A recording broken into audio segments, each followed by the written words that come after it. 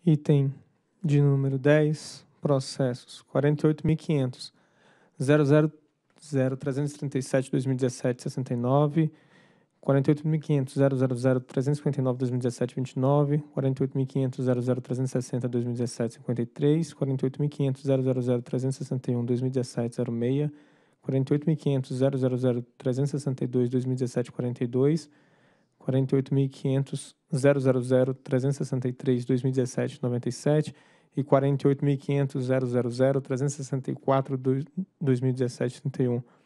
Todos eles tratam dos planos de prestação temporária encaminhados pelas distribuidoras designadas para prestação temporária de serviços de distribuição, conforme a Resolução Normativa 748 de 2016.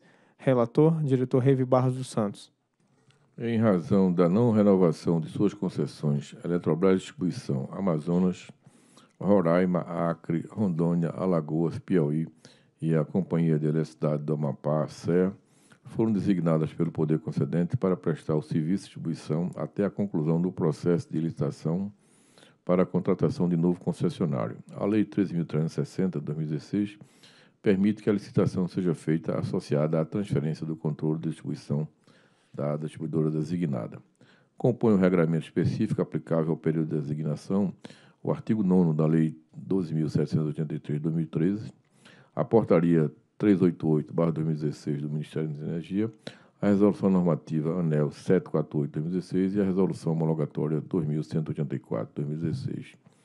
Os termos de compromisso que trata o parágrafo 8 do artigo 7 da Resolução 748 de 2016 foram encaminhados à ANEL por todas as distribuidoras designadas, devidamente assinados por seus dirigentes máximos e representantes dos sócios controladores.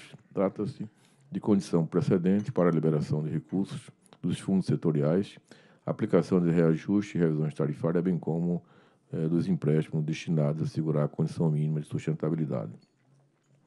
Em 27 de abril de 2017, foi editada a nota técnica 4 de 2017, é uma nota técnica conjunta das assessorias da SCT, SFF, SFE, SRD, que apresenta uma avaliação dos planos de prestação temporária de serviço de distribuição das distribuidoras designadas e dos relatórios relativos aos cumprimentos da referido plano no quarto trimestre de 2016.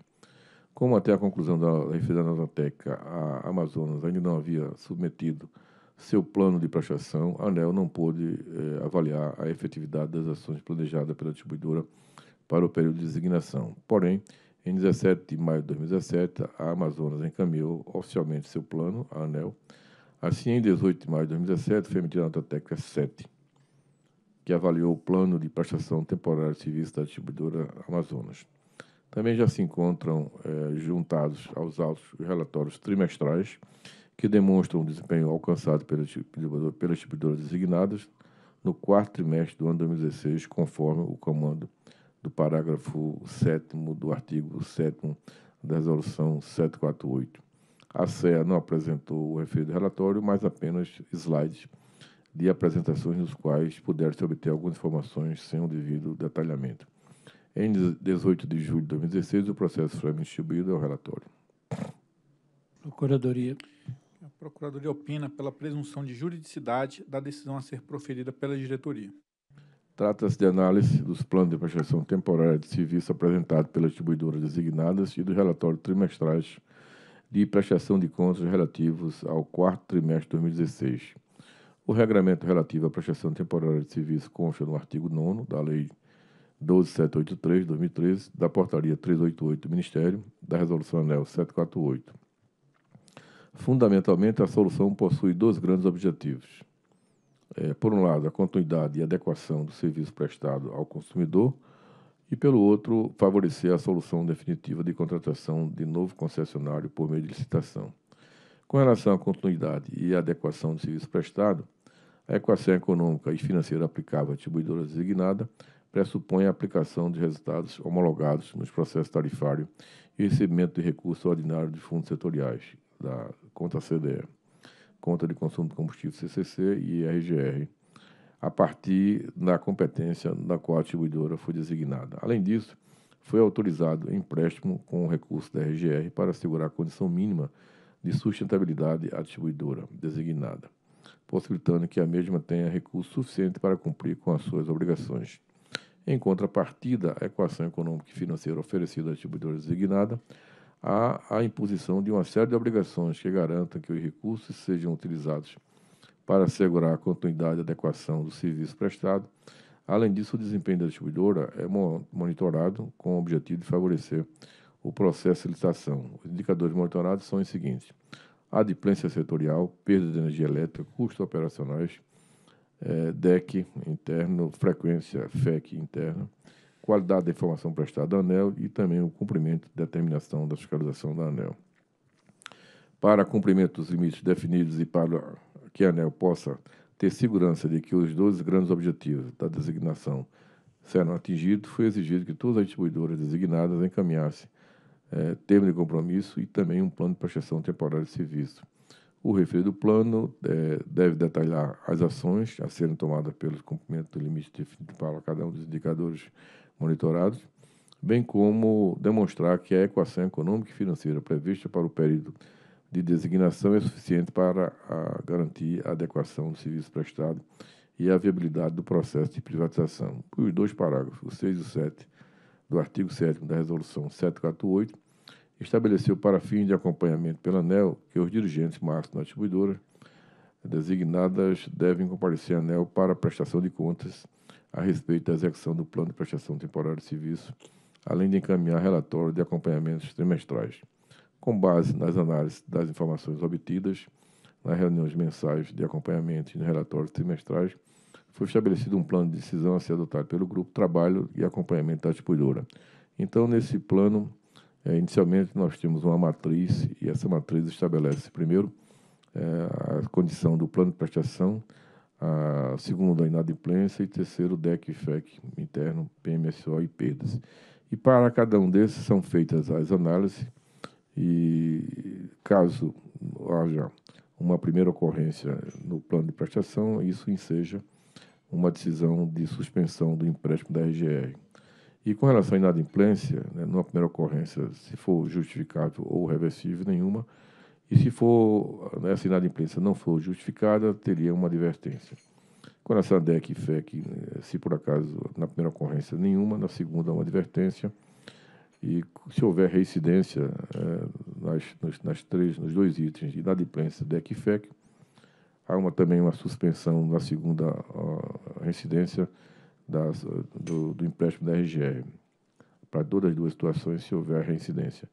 E, finalmente, uma, uma segunda reincidência, é, repasse, e se não for justificada, então seria o repasse de encargos e reajuste. O plano da decisão prevê que as empresas que não apresentaram o plano de prestação de serviço serão suspensas, os empréstimos da RGR, uma vez que sem um plano não há como avaliar o comprometimento e a capacidade da empresa para atingir as metas estabelecidas. Sendo verificado injustificadamente ou irreversivelmente inadimplências intrasetoriais pela distribuidora, a mesma receberá advertência, havendo reincidência serão suspensos os empréstimos da RGR e, em caso de nova reincidência, serão suspensos também os repasses de encargos setoriais e os reajustes tarifários. E sendo verificado justificadamente ou irreversivelmente descumprimento dos limites estabelecidos pela ANEL para os indicadores de perda total sobre energia injetada, de custos operacionais PMSO ou de continuidade interna DEC e, e FECI, será emitida a advertência distribuidora que, em caso de reincidência, serão suspensos os empréstimos da RGR. Os planos de prestação de serviço, de acordo com as notas técnicas 4 eh, e 7, apresentam análise detalhada dos planos encaminhados à ANEL e avalia que se eles atendem aos comandos da Resolução 748 e aos limites definidos pela Resolução 2184. Vale esclarecer que a estratégia para atingir os limites cabe à distribuidora designada, inclusive pode ser adaptada em razão dos resultados obtidos ao longo dos meses de designação. O monitoramento tem foco nos resultados alcançados e não na simples avaliação de cumprimento das ações é. Em síntese, destaca-se os principais pontos apresentados na nota supermencionada. É, com relação, aí nessa avaliação da nota, se faz uma avaliação da dispensa setorial, das perdas de energia, dos custos operacionais do DEC e FEC interno, é, os valores apresentados pela distribuidora em seus planos estão aderentes aos limites estabelecidos pela ANEL. Assim, não há fatores impeditivos à aprovação dos planos, dado que foram apresentadas ações que, se devidamente implementadas, têm o potencial de melhorar os indicadores monitorados. No entanto, deve ser feita a ressalva de que, para fins de monitoramento e processo de tomada de decisão, serão sempre considerados os limites definidos pela diretoria. Com relação ao relatório trimestral de prestação de contas, relativo especificamente ao quarto trimestre, esse relatório tem como objetivo demonstrar o cumprimento dos planos é, que foram encaminhados à ANEL. Conforme comentado na secção que cuida dos fatos, os relatórios encaminhados foram atestados pelos conselhos fiscais das distribuidoras designadas, cumprindo o requisito imposto pela 748. As secções a serem detalhadas a seguir detalham a avaliação de cada um dos indicadores monitorados comparando o desempenho proposto com os planos de resultado alcançados por cada uma das distribuidoras designadas ao final do quarto trimestre de 2016. Então, a diplência setorial, nós temos a posição de cada uma delas é, de valores na tabela a seguir, em valores em milhões. É, observamos que a Alagoas Distribuição, Piauí Distribuição e Acre devem equacionar respectivas situações quando do encontro de conta entre os créditos retidos relativos ao período de pré-designação, liberados por decisões tomadas pela ANEL nos meses de março a abril de 2017, e os débitos intersetoriais. A ED Amazonas tem o valor mais representativo, caracterizado por obrigações que não são consideradas intersetoriais, e, por tal razão, também tem potencial para equacionar os débitos intersetoriais, utilizando os créditos retidos junto aos fundos setoriais.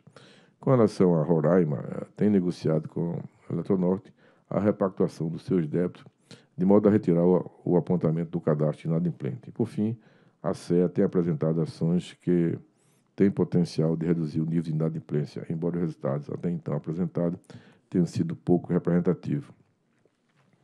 Com relação à perda de energia, a Acre Distribuidora atingiu as metas propostas no mês de dezembro de 2016 para as perdas globais e a tendência com a continuidade, do, continuidade dos projetos é o de atingimento da meta proposta até o final de 2017.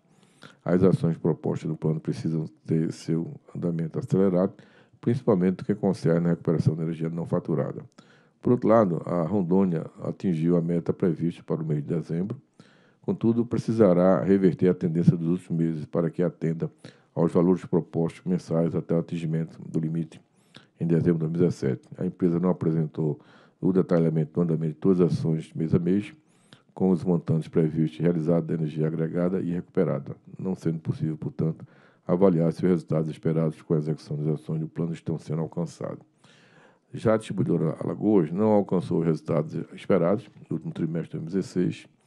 A tendência é de crescimento e preocupante, de modo que a empresa deve enviar, evitar esforços para melhorar os resultados para os próximos meses e acelerar a, os avanços físicos de suas ações propostas no plano que a, estão aquém do previsto. A distribuidora Piauí atingiu a meta prevista para o mês de dezembro de 2016 e o nível de perdas parece estar em tendência de queda. Deve-se aguardar as apurações indicadores dos meses seguintes para que se verifique a sustentabilidade da tendência. A CEA tem apresentado tendência de redução de perdas, porém, a meta considerada para dezembro de 2017, que corresponde a 40,30%, diverge do limite estabelecido pela ANEL, que corresponde a 38,9%. Além de corrigir essa premissa, a empresa precisa apresentar ao longo dos próximos relatórios um maior detalhamento do andamento de todas as ações, mês a mês, com os montantes previstos e realizados de energia agregada e recuperada, possibilitando um melhor acompanhamento pela ANEL. Para os níveis de perda da Amazonas, não se observa tendência de melhora, porém os valores estão dentro da previsão da empresa. Serão guardados nos próximos meses para se avaliar se as empresas têm conseguido reduzir o percentual de perdas. A distribuidora Roraima já apresenta níveis de perdas inferiores aos limites estabelecidos pela ANEL e há uma tendência de melhora. E para os próximos relatórios, a empresa precisa encaminhar um melhor detalhamento do andamento das suas ações. Com relação aos custos operacionais, é, que foram definidos na resolução, previsto na resolução é, 748, é, quando se compara os dados realizados com o limite regulatório, ocorrerá a partir de competência de janeiro. Então, Aqui nós temos o gráfico, esses dois gráficos que mostram os valores do PMSO realizado versus o limite estabelecido pela ANEL. E também o PMSO sem as previsões do realizado versus o limite. Com relação ao DEC-FEC, o acompanhamento trimestral foi realizado, observando a evolução de indicadores DEC interno e FEC interno, de cada distribuidora, comparando com o respectivo limite de projeções do plano, além de acompanhar, acompanhar o andamento das ações a serem relacionadas ao tema. A distribuidora Acre não cumpriu os valores projetados no plano, tanto para o DEC interno quanto para o FEC interno, mantendo assim grande distância do limite estabelecido para ambas. É, diante desse cenário, a baixa expectativa de que a empresa obtenha indicadores inferiores aos limites estabelecidos em dezembro de 2017 será acompanhada da efetividade das ações propostas nas próximas prestações de contas para verificar se elas estão sendo eficazes na reversão da tendência de pior dos indicadores. Com relação a Rondônia, é, Alagoas e Piauí, vem apresentando indicadores com tendência de melhora e que já possuem valores inferiores aos limites estabelecidos para dezembro de 2017. A Serra vem apresentando indicadores dentro do esperado pela projeção realizada pela empresa. A tendência é de que sejam respeitados os limites estabelecidos para dezembro de 2017. Não foi apresentado relatório do quarto trimestre de 2016, não sendo possível análise quanto ao andamento das ações propostas ao plano. A Amazonas apresenta uma trajetória decrescente do DEC interno e FEC interno, apesar de ainda não cumprir o limite estabelecido. Embora a evolução de indicadores de continuidade apresente um cenário de convergência para os limites estabelecidos pela ANEL, a distribuidora alega que eh, está tendo problemas de restrições financeiras que estão causando a postergação do início das ações previstas no plano e que podem comprometer o cumprimento das metas. Contudo, a firma está tratando dessas situações diretamente com o Ministério da Energia. A distribuidora Roraima apresenta uma trajetória decrescente desses indicadores é, quando comparado com os valores definidos para dezembro de 2017. É, e a tendência para a partir de novembro de 2016 serão aguardados os números dos próximos meses para que se verifique se houve reversão da trajetória. Com relação ao valor de referência da CEA, aplica-se conforme a portaria 388 o recebimento de créditos setoriais e a aplicação de reajuste, mesmo em situação de inadimplência, redução das glosas da CCC e elevação das perdas regulatórias. Para tanto, a CEA deve elaborar um plano de prestação temporária de serviço público, o que, que inclui a definição das metas para o controle das despesas do PMSO, do efeito caixa e do percentual do efeito sem despesa de provisões. A resolução 2148, na resolução não foram definidos os limites máximos de custos operacionais a ser atingidos pela CE ao final de 2017, o que motivou o cálculo destes valores pela SSFF. Utilizando-se as mesmas metodologias aplicadas às distribuidoras designadas federais, a SFF obteve o valor limite de 165 bilhões para o PMSO de efeito caixa e 139,8 milhões para o PMSO efeito caixa sem provisões, em bases anuais. Os respectivos valores com bases mensais a serem incluídos no anexo 6 da resolução 2184 são, respectivamente, 13 é, mil e 11,6, respectivamente. Em síntese, constata que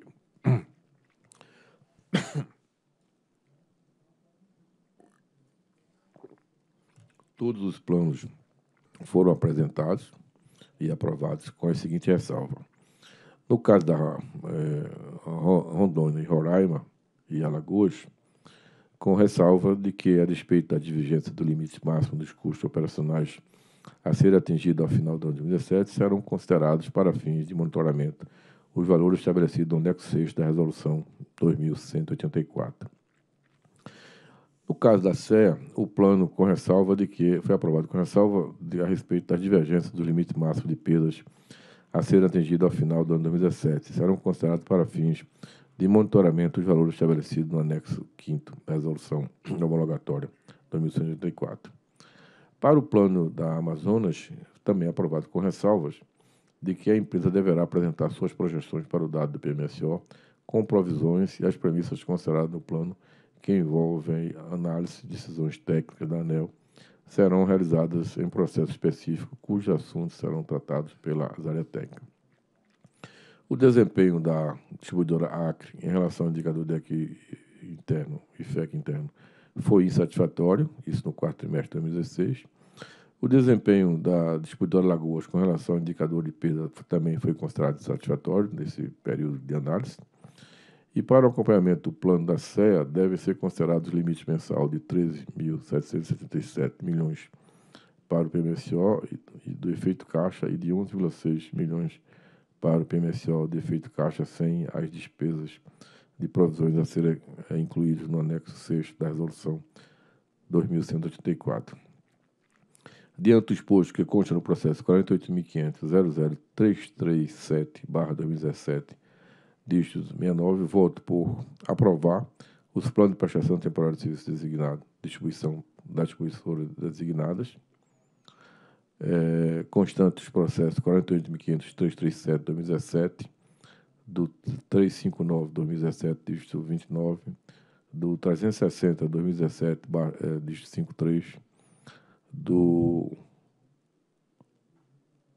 361 de 2017, dígito 6, 362, 2017, dígito 42, 363 e, e o 364, com as devidas complementações exigidas pelo grupo de trabalho criado pela portaria 4.416 e com a ressalva de que, para fim de monitoramento e tomar decisões, prevalecem os referenciais constantes da resolução 2184.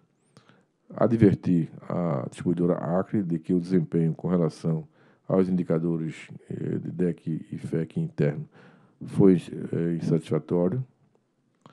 Eh, na questão do quarto trimestre de 2016, advertir a distribuidora Lagoas de que o desempenho em relação ao indicador de peso foi insatisfatório no quarto trimestre de 2016, retificar o anexo 6 da resolução homologatória 2184, de modo a incluir limites do PMSO para a CE na tabela 1, e na tabela 1 o valor de R$ 13.777,91 centavos para o limite do PMSO, ajustado, aliás, 13, 13 milhões, né? Ajustado e realizado na tabela 2, o valor de R$ 11.666,58 centavos no limite PMSO ajustado, realizado é, sem despesa de provisões. É o, o voto. Em discussão. Eu, eu queria fazer um, um destaque né, para esse trabalho que está sendo feito uh, pelo grupo né, com relação a o monitoramento das empresas designadas. É, eu acho que o mundo ideal é que a gente pudesse ter um acompanhamento desse de todas as distribuidoras. Evidentemente que a gente não teria fôlego para isso aí. Mas percebam que é, tem umas características aqui interessantes. Primeiro, é que se define objetivamente qual a expectativa que se tem dos principais indicadores, seja perda, DEC, FEC, é, com relação a um prazo muito bem definido aí, que seria até o final do ano. Então, está definido qual é a expectativa. Depois tem uma liberação de recurso associado ao cumprimento dessas metas. Depois nós temos é, um acompanhamento trimestral. E, finalmente, nós deixamos muito claro quais são as consequências que advirão se, por acaso, aqueles é, indicadores eles não forem atendidos conforme foi é, acertado. E, por fim, é, nós tínhamos um termo de compromisso, é, não só pela diretoria executiva, mas também pelo, pelo Conselho, e a obrigatoriedade de trimestralmente vir aqui fazer prestação de conta. Eu acho que isso é um laboratóriozinho, que eu acho do ponto de vista, mas eu acho que o mundo ideal é que a gente pudesse ter um monitoramento com esse nível de qualidade para toda a distribuidora de energia elétrica é, do Brasil. Portanto, eu quero parabenizar o trabalho que está sendo feito aí por, pelo grupo de trabalho e dizer que o, o objetivo é simplesmente, pelo que foi estabelecido desde o início, é assegurar que a qualidade do serviço, pelo menos, seja mantida nas condições que estão sendo realizadas atuais e, quiçá, que sejam até melhorados, mas não é, contribuir para um agravamento da situação atual.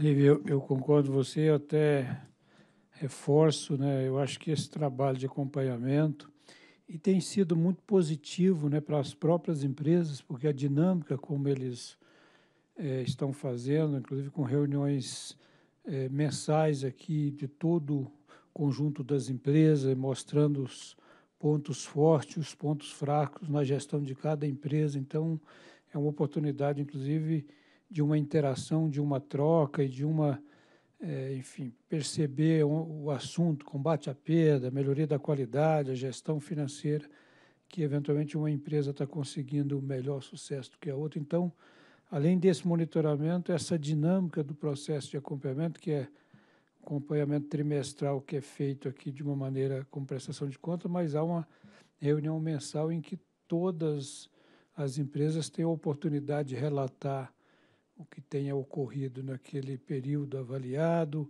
é, a própria ANEL explicitando a sua visão, seu ponto de vista, e isso eu acho que tem, é, enfim, alcançado resultado interessante do ponto de vista dessa gestão ou desse momento que não é certamente o melhor desenho né, da designação, é uma situação precária, provisória, enfim, desafiadora, mas eu acho que é, o resultado tem sido muito interessante. Inclusive, naquelas reuniões se é, destaca um ponto que uma determinada empresa até superou, né? aqui no seu relato fica claro isso, algumas empresas até já alcançou metas que estavam lá mais para frente, e outras não têm tido o mesmo sucesso. Eu acho que a partir dali, inclusive, próprio grupo se reúne, enfim, identifica essa, esses pontos aí. Eu acho que é uma dinâmica bastante interessante. É o que você falou. Claro que não dá para fazer isso para todas as empresas, mas eu acho que essa que tem uma situação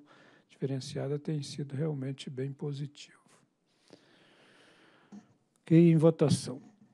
Eu voto com o relator. Também acompanho o relator.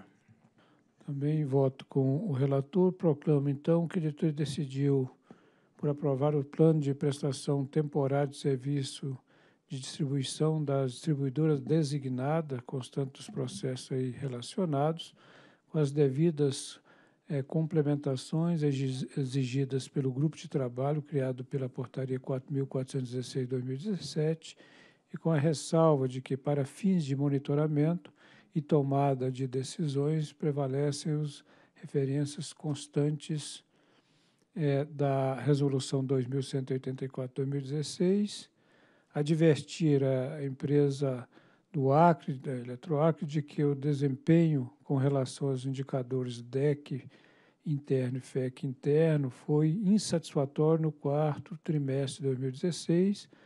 Também advertir a empresa designada Alagoas de que o desempenho com relação ao indicador de perdas foi insatisfatório também no quarto trimestre de 2016, é, retificar o anexo 6 da Resolução Homologatória 2184, de modo a incluir os limites do PMSO para a CEA, na tabela 1, o valor de R$ 13.777,91 para o limite do PMSO ajustado realizado. E na tabela 2, o valor de R$ 11.666,91 centavos para o limite PMSO, PMSO ajustado realizado sem despesas de provisões.